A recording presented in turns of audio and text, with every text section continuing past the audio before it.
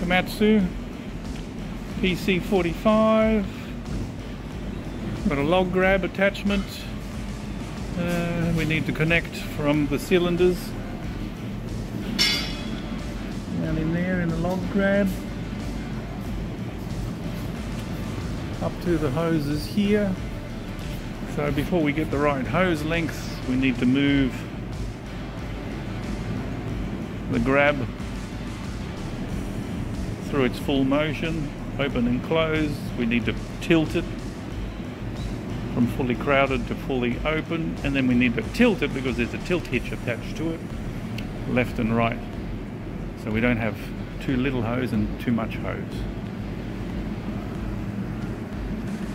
Uh, nothing's connected so our fence palings are actually holding the jaws open. We're going to try hold the jaws open.